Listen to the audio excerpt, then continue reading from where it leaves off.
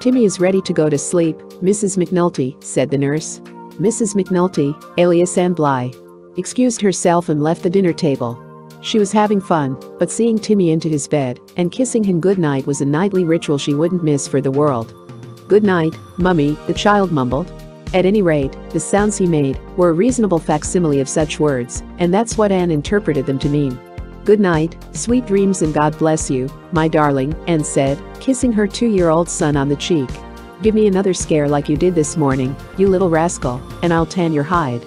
Despite her words, Ann didn't even try to look stern. Timmy had locked himself in his room that morning. She'd been frantic outside the door, imagining all sorts of calamities that might befall him. Forcing herself to be calm, she tried a dozen different keys until she found one that fit. When she saw Timmy, not only unharmed, but delighted with his prank, her relief was so great she nearly clasped him in her arms, thanking God that nothing had happened to him. She couldn't even bring herself to punish him. That was one of the things she wasn't terribly good at, anyhow. After she turned the light out in Timmy's room she looked in on the baby sleeping peacefully in the adjoining nursery. She was a good baby, Maureen Ann. Full of smiles and gurgles, she hardly ever cried. Ann, of course, was more relaxed with the baby than she'd been with Timmy. Mothers usually are with a second child. If she ran true to McNulty form, and so far she'd been doing nicely indeed, she'd have a chance to get a lot more relaxed before she was through. She tiptoed out of the room and rejoined her guests at the dinner table. Her cousin, Teresa Lynch, was telling one of her delightful Irish stories and telling it very well in her wonderful brogue. Ann had heard it before, something about a horse that had been given a pill to make him run faster. Teresa came to the punchline, sure and you'd better give me one too. I've got to run and catch the old creature. The story was a success. Ann smiled, proud of her cousin. Teresa had arrived from Ireland for a visit with Ann only a few weeks before. It was nice to have another blood relative of her own around for a change. In the midst of a family gathering like the one that night, Ann still had to pinch herself once in a while to make sure it was really true. She'd always lived in such a small, self-contained world before she married Jim. After both her mother and her sister had passed away, there had only been her dear Aunt Sissy and Uncle Pat. Now she'd become part of a large, lusty, warm family.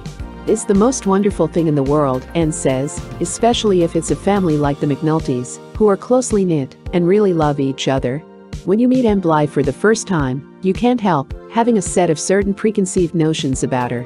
You probably heard her on the radio when she was a child or maybe you saw her on Broadway in Watch on the Rhine. Later, you witnessed her develop from a child singing star into the romantic lead in dozens of movies. You know that she's beautiful, you've heard her golden voice, and you've read about the struggles and tragedies of her childhood, her deep religious feeling, her courage and her gentleness. Yet you wonder whether the mental picture you've formed of Ann can possibly correspond to the real thing. After all, Hollywood being what it is, it seems like a miracle that so gentle and self-effacing a girl as Ann Blyth, who has spent most of her formative years in these surroundings, should reach such heights of success and yet retain a spotless reputation as well as achieve a rare degree of marital happiness. But when you meet her face to face, the mystery resolves itself. Ann, in person, is fully as beautiful as any of her pictures, but what captivates you is her warmth, the calm sincerity of her personality. As a bonus you'll find that she also has a delightful sense of humor and that she talks well and easily on any number of subjects. You notice a special glow the instant the conversation turns to her children and her family. When I visited with her, I wanted to know more about her relationship with the large McNulty clan, the Thundering Herd, as people sometimes jokingly refer to them. To be quite honest, I think I was a little scared at first, she relates. I was in love with Jim and extremely fond of all his family, but still I figured I had quite an adjustment to make. But I needn't have worried. I couldn't have picked sweeter in-laws, even if I could have had them custom built to my specifications. And, incidentally, no matter what people might say about mothers-in-law in general, Mother McNulty is tops. She's got the biggest warmest heart of anybody I know. All her sons' wives are simply my girls to her, why, she'll even share her most treasured recipes with us. And she's got some good ones too. Besides, Ann continued, I have special reason to be grateful to her. If it hadn't been for Mother McNulty, I'm afraid it would have taken Jim a lot longer than it did to ask me to marry him. He'd sought his mother's advice about some jewelry he wanted to get me for Christmas, and she told him, Jim, there's only one piece of jewelry you should get for Ann, and that's a wedding ring. He kept it in his pocket for a week before he finally gave it to me a week before Christmas back in 1952.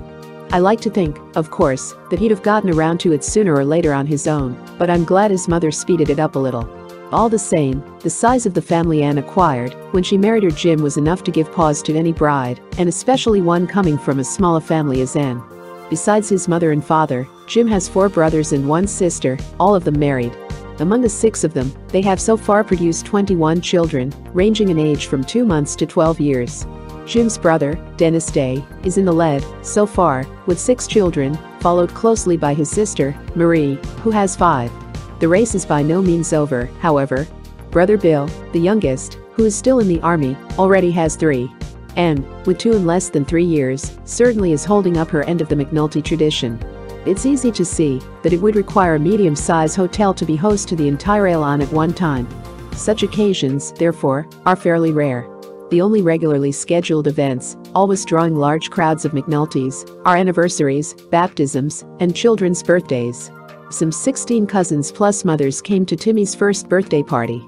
Luckily we have a large garden, and it hardly ever rains in June, Ann explains. That simplifies things a lot. And my sisters-in-law are very helpful. Besides, they certainly have lots of experience.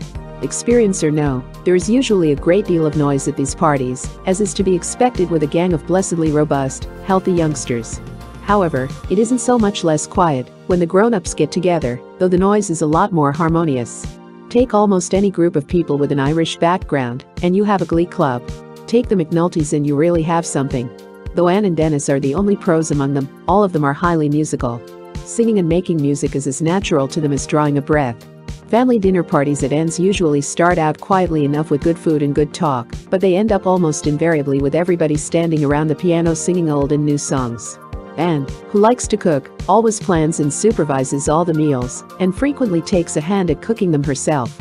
Among her specialties are fried chicken, Irish stew and corned beef, but she doesn't go overboard on Irish dishes, liking variety and preferring to fit the menu to the occasion.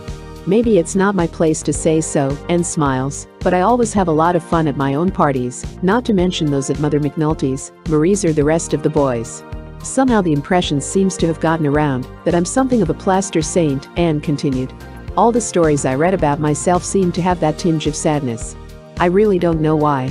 Certainly, it was a terrible blow to me when my mother passed away, but when she was alive, she gave so much of herself that the memory alone would have been enough to fill me with warmth and love for the rest of my life. And I had my aunt and uncle who were always like a second mother and father to me.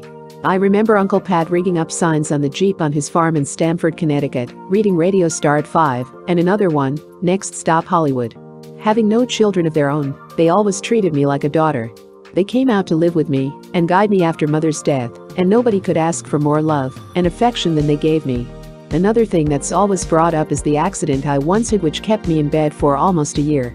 Of course, it was a terribly anxious year. There were moments when I despaired of ever walking again. But God was good to me and I recovered. My mother was one of the most devout persons I've ever known and brought me up in the Roman Catholic faith. I cherish my religion and try to live by it. However, some of the people I respect most are of a different faith. I might have fallen in love with Jim, even if he were not a Catholic, but I'm very grateful that he is. The wonderful part about our marriage is that everything is so right. No matter how much love there is, I believe that rightness is one of the most necessary ingredients for lasting happiness. My own happiness is so great that I often ask myself why I deserve so much. That's where my faith helps me. So many people seem to turn to religion only in times of trouble and despair, but the important part is to have humility before God when all goes well. I think what I love most about my husband is his great sweetness and understanding. It's something that shines from his face. He's a thoroughly kind, generous, decent man, incapable of any meanness. On the other hand, he can be quite firm on occasion. He's much firmer with Timmy, for instance, than I am. Needless to say, it's never a picnic being married to a busy young doctor. There is no such thing as regular hours, and whatever plans we make are always subject to last-minute cancellation. Like all doctors' wives, I often find myself minus a husband at a party even in our own home.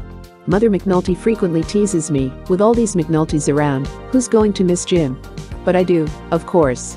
Yet these are minor things. When I'm with Jim and look around at all those warm, friendly faces, and when I hear the laughter and the singing, and think of our little ones, I count my blessings, and I'm thankful for all that's been given me. I'm very happy being part of such a large warm family, where everybody loves everybody else. And family gatherings where we always have so much fun are necessary high spots to reaffirm the family unity. But the best evenings are the ones Jim and I spend alone together. After the babies are put to bed, we have dinner and talk over the events of the day. Later we read, or look at television. Some evenings we may not exchange more than a few words in an hour. To me, when two people can sit in a room together without speaking, yet not be bored, just content in each other's company, that means happiness. Photoplay magazine March 1957